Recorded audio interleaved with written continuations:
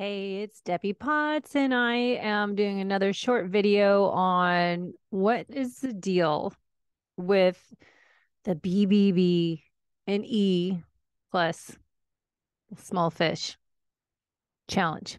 Dr. Ken Berry, who is an amazing person, been with them on the low carb cruise a few times.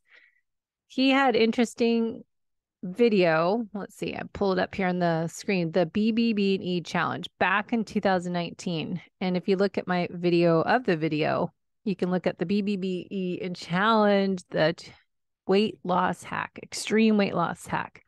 How many views this had? How many followers? He almost has 3 million followers. So Dr. Ken Berry is making a huge impact in our world to help people simplify how to get healthy and reduce metabolic chaos. Now, it's a great diet hack. It's eating beef, bacon, butter, and eggs. Plus, he just said a recent interview I heard him on that he would add essential fatty acid fish as sardines, which uh, is another challenge right now three day th- sardine challenge. So, what is the why? Who needs to do this?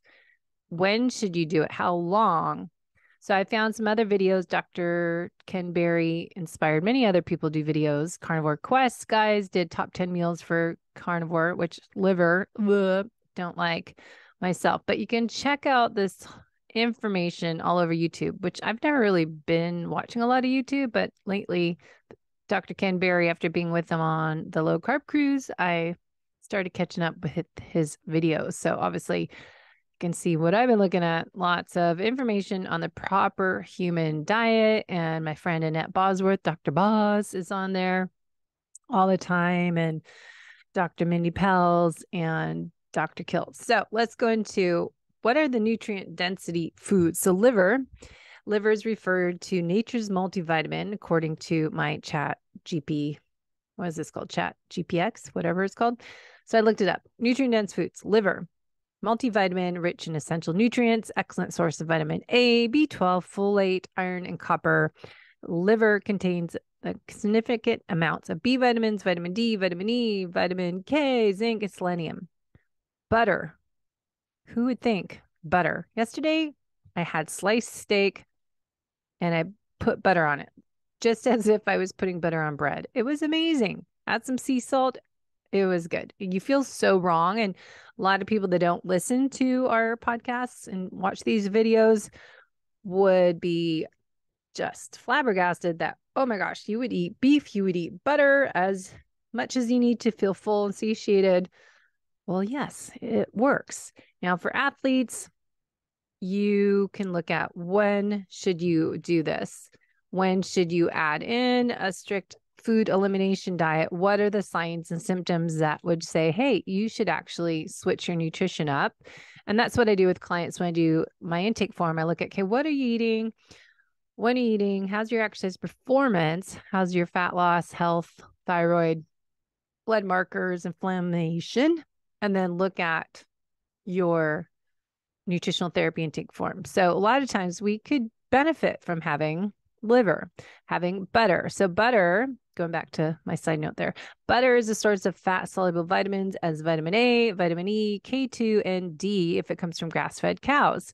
It's conjugated linoleic acid, CLA, a beneficial fatty acid, good source for easily absorbable dietary fat. So grass-fed butter, Kerrygold, there's um, Vital Farms, and there's some different ones. You can, if you have trouble with dairy, some people need ghee. I don't like the taste of ghee, but ghee is beneficial too if you have issues.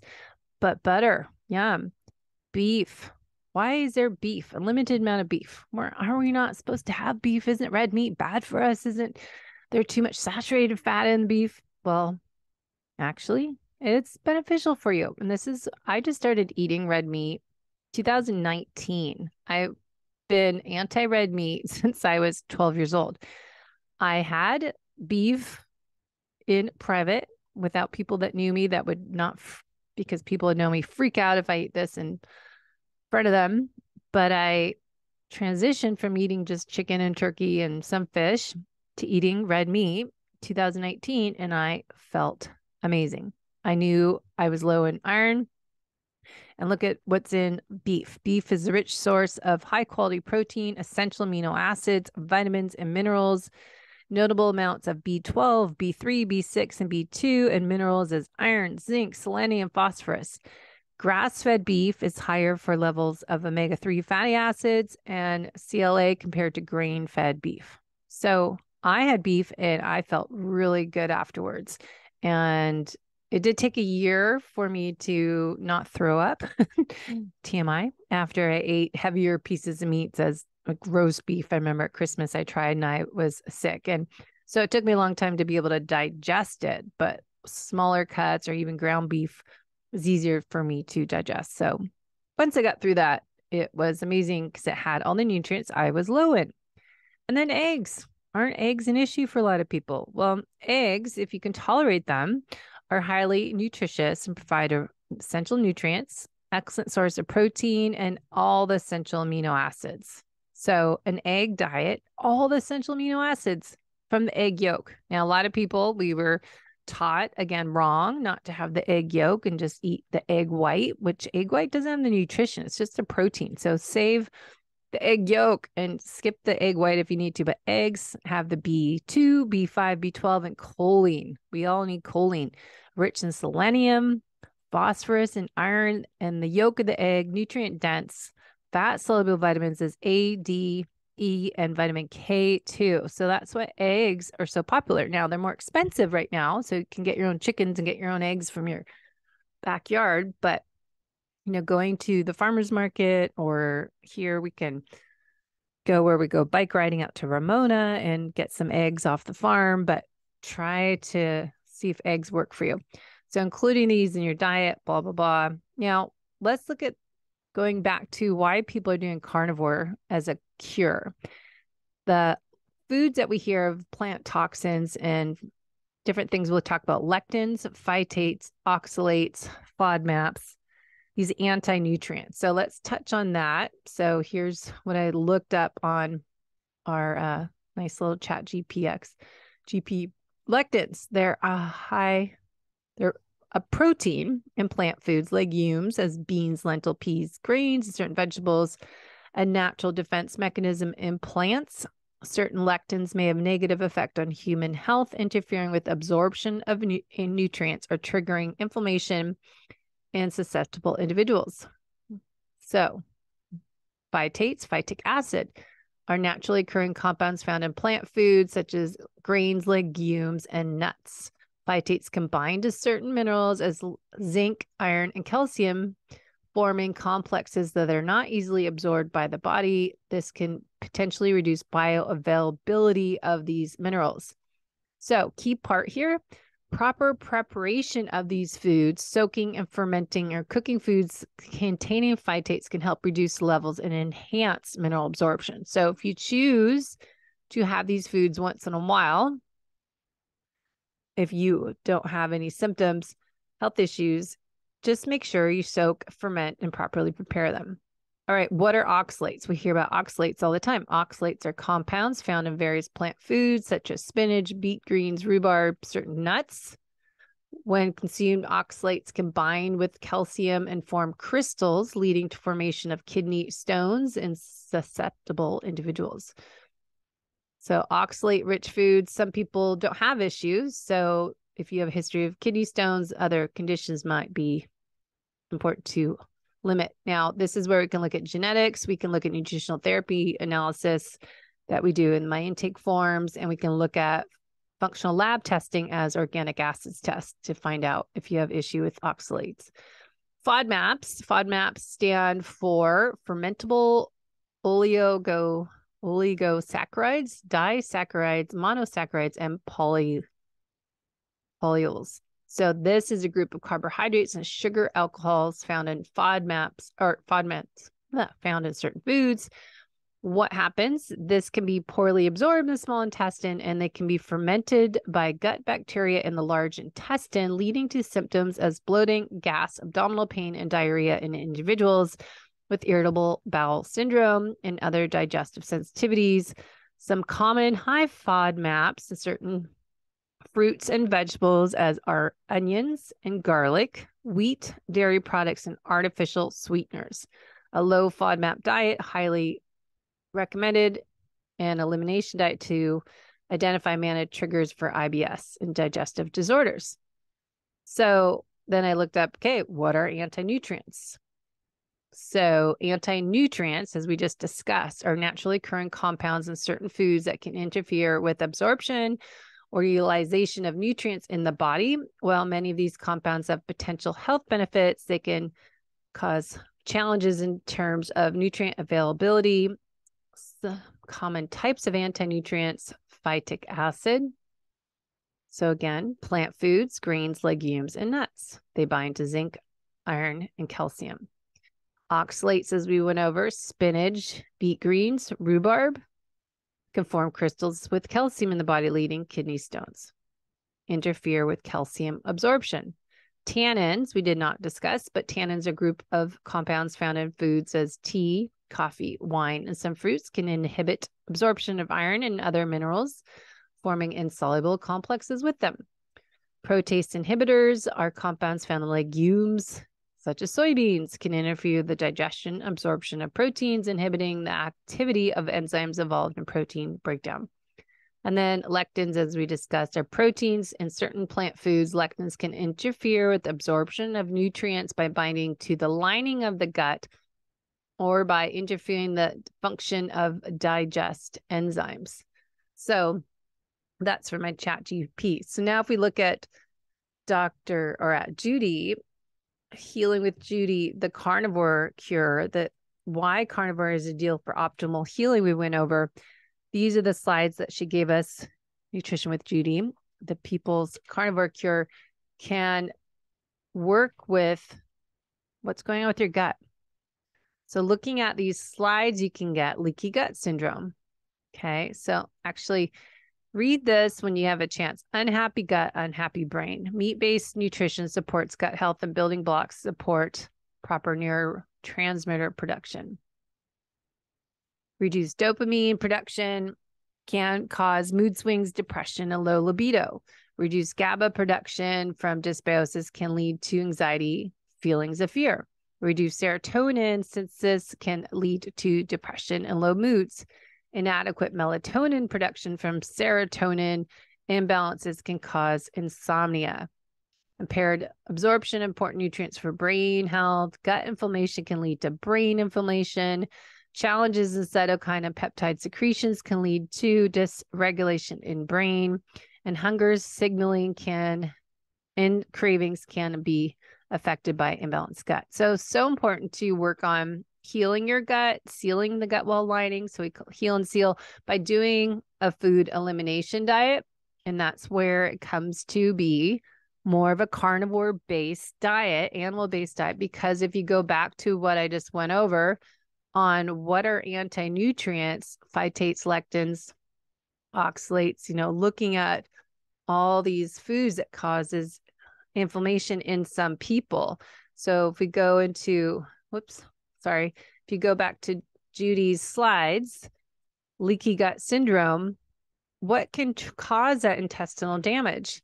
Triggers causing intestinal damage, dietary proteins, low HCLs, low stomach acid, low digest enzymes, medications, infections, blood sugar issues, antibiotics, pregnancy, menopause, or as Dr. Elizabeth Bright, we just recorded an interview with her and we don't really have menopause is you're fertile or not fertile. You have your period or you don't have your period different times in life. Toxins food allergies and stress.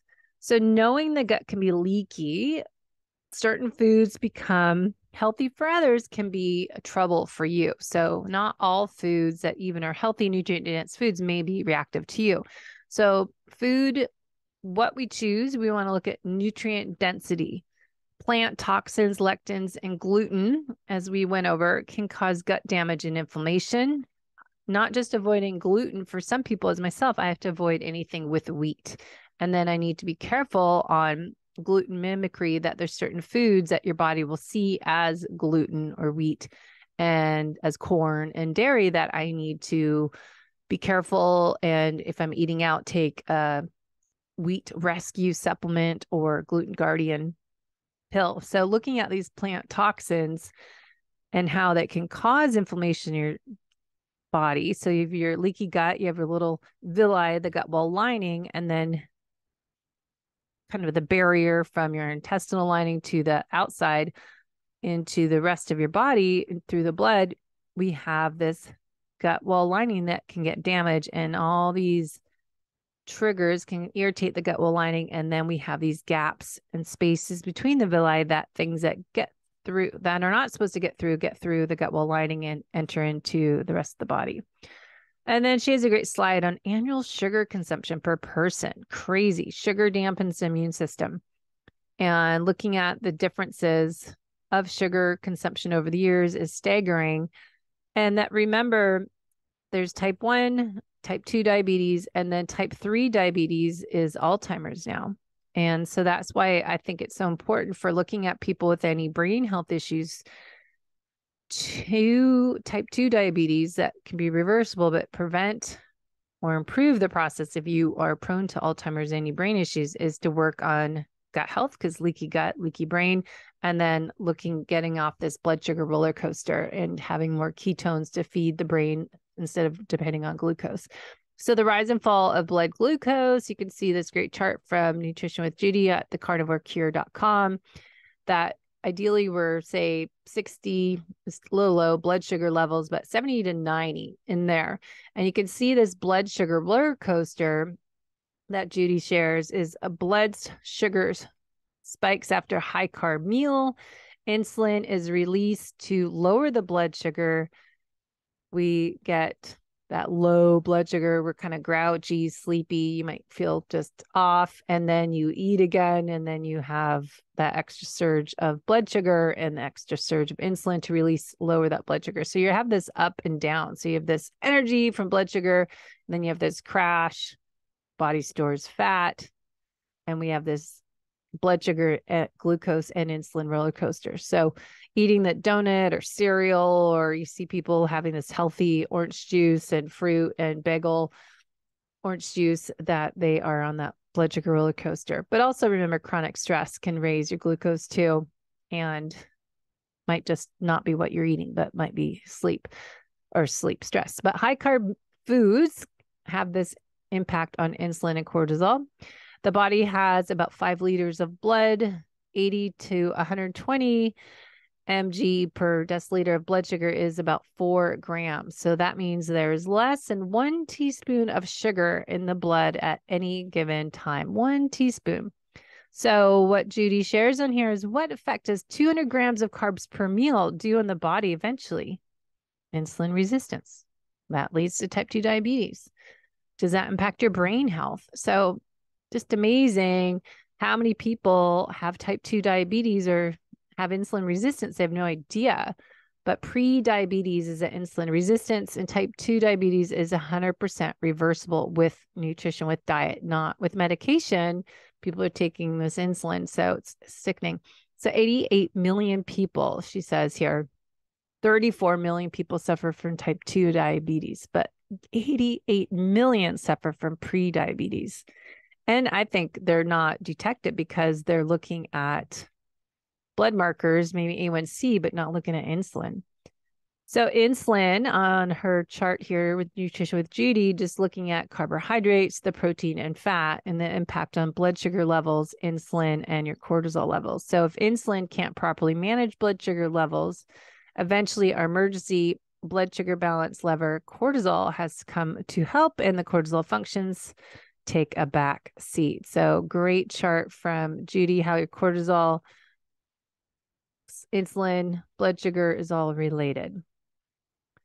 Peak carbohydrate peaks in the blood sugar 0.5 half hour to an hour, 90 to 100% converts to glucose. Protein converts as sugar, two to four hours, convert 50% of it converts to glucose. Fat peaks in the blood as sugar, eight to 10 hours, and 10% converts to glucose. Interesting. All right, here's another great one to share the endocrine system, the system of hormones. How do you know that the sex hormones or the thyroid are not something and not something else is the root cause. And Judy does root cause medicine as we do nutritional therapy and FDN practitioners. And what I was talking about with Dr. Elizabeth Bright. Cholesterol hormone is part of the adrenal function. If you are overly stressed and overly consuming carbs, under eating, which most of us do as athletes, overly exercising, most as athletes, your body will make cortisol over sex hormones. So, just to review, and see this chart bigger. So if we go to the video here, make sure you're looking at these slides, but gut health, pancreas, cortex, and pituitary thyroid, just check that out, sex organs. So we've got the adrenals here. And then look at cholesterol hormone pathway, cholesterol, pregnenolone, progesterone. And look at this chart, how we make androstenedione uh, testosterone, and estrogen. These hormone pathways are optimal. So progesterone will make cortisol, cholesterol. Our body focuses on innate intelligence and protecting us. So if we have too many stressors in the body, our hormone production is decreased and our body focuses on making more cortisol and functioning. And going back to nutrition, that Dr. Elizabeth Bright was talking about, our cholesterol is made from fat. So this is why you talk to Robert Savage of Keto Savage, looking at cholesterol and our hormones that we need to eat a higher healthy fat diet and then getting enough protein to build our muscles. So we've got this steroid hormone pathway, the chronic stress response. So sex hormones are primarily derived from cholesterol. There are many pathways cholesterol goes down to produce the various sex hormones. So check out progesterone to make cholesterol, progesterone, pregnenolone. But look above that, you see fat, cholesterol is up here. So we want to look at, we've got cholesterol makes these hormones from acetyl CoA from fat. So we need to eat these healthy fats as the grass fed butter and getting natural fat from animal meat that's ideally grass fed, but having our hormones production focused on that, especially if we are stressed out and we are going through that phase in life. Our hormones are getting lower. We need to boost them up and build them up. So there's another chart steroid hormone pathway, so-called pregnenolone steal is questionable these days, but what happens if there's extra burden on cortisol from blood sugar imbalances, life stressors, and not enough cortisol? So a lot of people think cortisol isn't is bad. Lower the cortisol, the better. Not true. We need the right amount of cortisol and or cortisol cholesterol. And Dr. Elizabeth Bright said here 200, 220 on your cholesterol, not lower, not higher, just that Goldilocks effect for the right amount of cortisol cholesterol. So you can see this chart from Judy on here, cortisol. What will happen? All these other hormones are lower. So if you get your hormone panel, saliva, or urine, you can see this metabolites. If they are all low, your cortisol might be high and then low. So you want to check this out. And of course, Judy on her podcast is going to have all this a little more detail, but this is what she gave from the Carnivore Cure Summit the cholesterol needs for cortisol hormones. So check out that fat is what we need to feed or our hormones. So your sex hormones, mineral corticoids, and glucocorticoids are corti- yeah, coids are made from fat to make cholesterol. So why we talk about hormone health and thyroid health that we need healthy fats. Brain also, brain health, 60% fat. Brain makes up to 2% of your weight, consumes 20, 30% of your total calories. So cholesterol is not bad. It's feeding our hormones. So half the people that have heart attacks have normal level of, of cholesterol. Heart disease is a new illness. Animal-based foods is old food should we fear cholesterol if 75% show no reduction in mortality? Statin drugs, as I know so many clients are on, come with health risks. So Judy shared that 2020 British Medical Journal found that 75% of 35 trials reported no reduction in mortality among the participants showing in the study that took cholesterol lowering bloods. Crazy, crazy.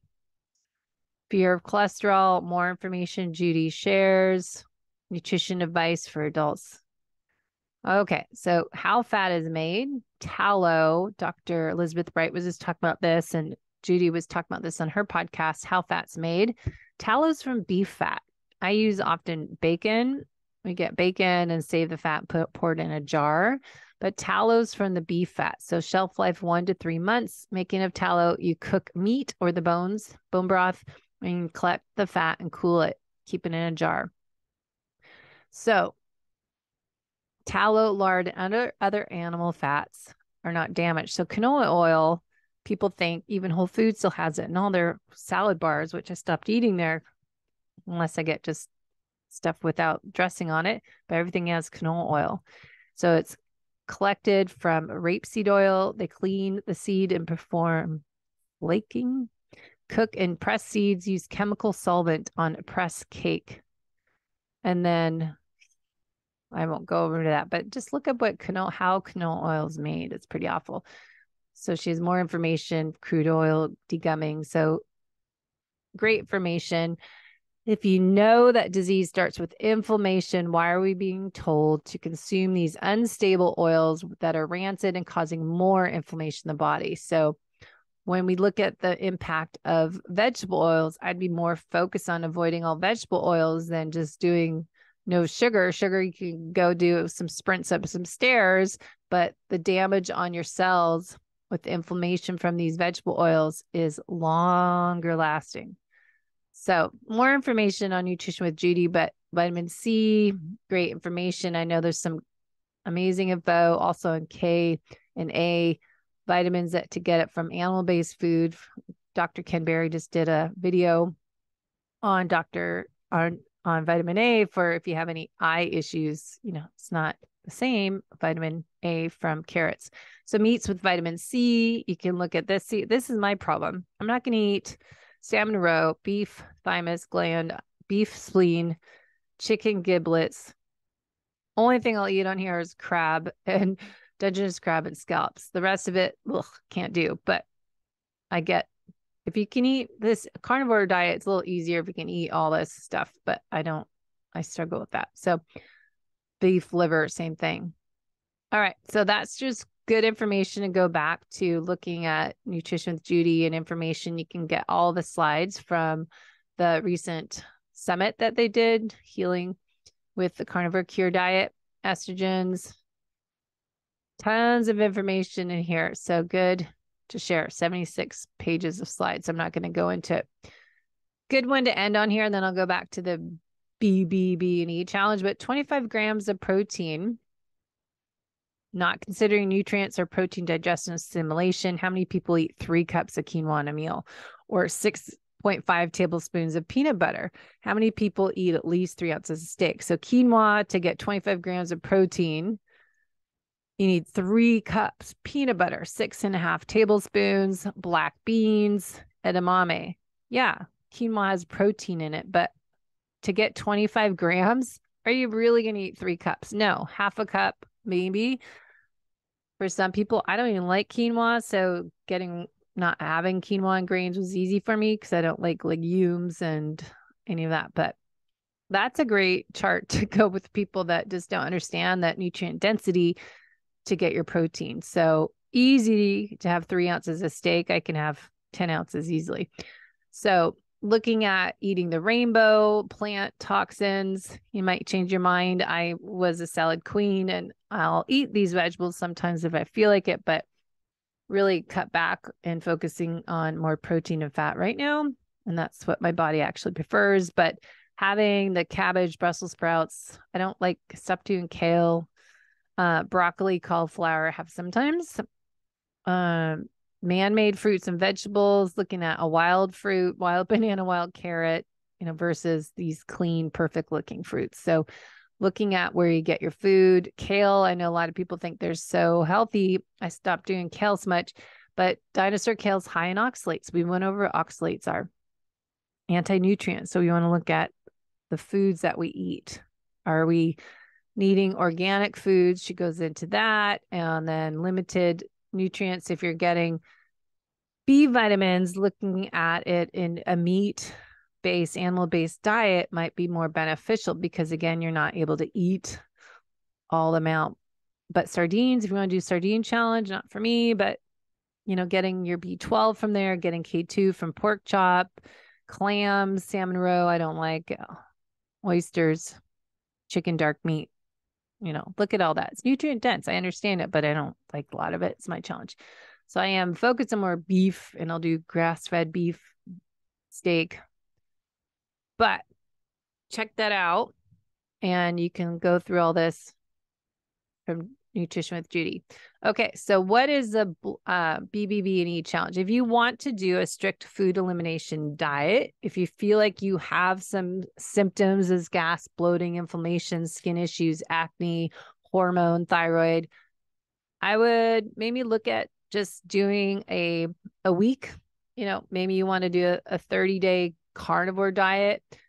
This stricter form of carnivore is get rid of this ad uh, simplified, just keep it easy. Just eat ruminant meat, is the beef, bacon, eggs, get your essential fatty acids from the little small fish, and get your eggs. So BBB So you can check that out. This is a from um, an article Whoops, that's not what I'm looking at. That's the wrong slide. We want to look at what is a BBB liver you can do, but grass-fed beef, I'm easy to do that and steak. So look at the video BBB and E challenge. If you need to struggle with, if you're struggling with weight loss, if you want to look at some research behind it, it's limited, but just it's an unequal one experiment. If you have troubles with a lot of these anti-nutrients, maybe you should do a more of a keto carnivore, real food diet, nutrient density, and having your plant foods maybe reduced and maybe eliminate all plant foods and get your carbs from berries in season. Maybe you can try some starchy vegetables as potatoes, sweet potatoes, because you're burning more calories as an athlete. So maybe potatoes, as I said, uh, the root vegetables and having some berries might be okay versus the plant toxin foods you might be reactive to. And you don't know that unless you remove them. So, research study on here you can look up. I'll put the links in the show notes. Body composition, calories, glucose. So, all this was measured, and you can look at what it found. But this was from uh, Dr. Ken Berry's site. And then you can look up the carnivore diet on drkiltz.com to find out more information on the carnivore diet if it is for you, right? So, what is it? What is it? We went over this in previous video nutrient density. What am I supposed to eat? Is great information on the carnivore diet, Dr. Kiltz website. So, we went over this previous video, but I think it's just something as an athlete I'm curious about what you should do. It's again going back to matching your nutrition with your exercise and looking at how are you performing in your workouts? Do you need more nutrition? Are you eating enough calories? Are you doing high intensity interval training workout where you will be needing quick energy? Are you doing a long two hour plus workout trail run, hike. That's anaerobic intervals. So maybe you're doing hills on a bike ride that my heart rate will be up to 150, 160, and then come back down to my 120 heart rate. So we want as athletes take all this information from the keto carnivore world doing a strict food elimination diet is the BBB and E challenge but if you are exercising a lot, you might want to reduce your exercise during this time that you're doing a food elimination diet as a carnivore prog- protocol, keto carnivore, carnivore, whatever you want to call it. taking out the plant foods and focusing on getting healthy fats. Dr. Bright talks about a 70% fat, 30% protein, and experiment with that and doing more strength training, less cardio. And if you are doing higher volume with higher heart rate workouts, that's where you can add in your carbs coming from the starchy vegetables, potatoes, maybe have them in your evening meal during the workout, you might need something from S Fuels, S Fuels Race, S Fuels Plus, S Fuels Train for the lower heart rate workouts. And look at what we've talked about with S Fuels in previous videos. But I think you need to look at what is your goal to do if you're doing keto carnivore. If you're doing this as a food elimination diet, what's your why? What are your symptoms? Are you struggling with fat loss? Are you struggling with skin issues, gut issues, digestion? Are you trying to improve the the aging process and work on your future use? I'm trying to focus on my brain health and making sure I, I don't have brain issues as I get older. So it's so individual, and that's why I do private coaching instead of group coaching. Even though I'm, going to help with Team Keto on their course, but I think it's important to know that we're all a little different, but we all need to, our hormones are made the same way. We need fat to feed our hormones, as we went over from what Judy has shared on her podcast and her Carnivore Cure Summit. So just know that you might not be eating enough calories. You might not be timing your nutrition with your exercise and matching that intensity level. But fasting too much, I think, is more of the issue for a lot of us that we got into fasting and then we're not eating enough calories. So, getting more fat and protein not eating before bed, too close, you know, just so much of it.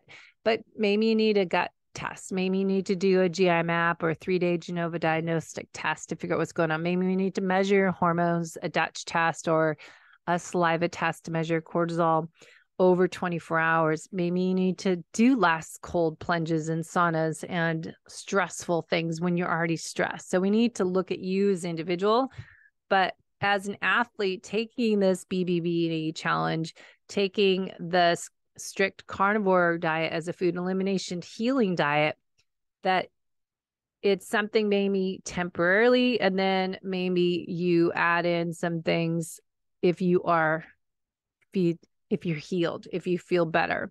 So we want to look at your signs and symptoms and so much more. But sometimes it's it's easier to let your body heal with food and use your own body's own innate intelligence to bring it back to its own homeostasis, to your own to back to balance. But sometimes we need to kickstart it back in with the food elimination, but by identifying signs and symptoms of parasites, pathogen, bacteria overgrowth, that you might need to do the food elimination diet, but then do a 60 day, 90 day protocol if you have some parasites or some other issues that we need to eliminate those hidden internal sources of chronic stress. So, I don't know if any of this helped you today, just going over what are anti nutrients, what are plant toxins, what are some signs and symptoms that you might have inflammation in your body. We'll just look at if you have time, I can send you the nutritional therapy assessment form and give it to you for free just to give you an insight of what might be going on correlated to gut issues, liver congestion, poor digest enzymes. If you have high levels of H. pylori causing poor digestion of protein in your stomach because you're low HCl levels. If you just need to start with what you're eating, when you're eating, how you're eating, taking time out, manage your stress, prioritizing sleep, looking at your exercise, time of day, what you're doing for your exercise. Are you moving throughout the day? so much more to go into what I call the WHOLESTIC method coaching to coach the whole you from the inside out.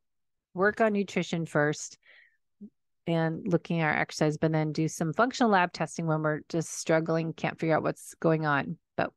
When I'm working with people, we start with the nutrition and the lifestyle and nutrition exercise while we order labs, or maybe we don't need to order labs. So we figure that out. So let me know if you have questions, comments, and want me to dive into some other topics on upcoming episodes on the YouTube channel, The Low Carb Athlete. And I will be posting more videos here and not as much on the audio version podcast for the summer. All right. So head to debbiepotts.net and send in your questions and what you want me to dive into next time. Thanks. Have a great day.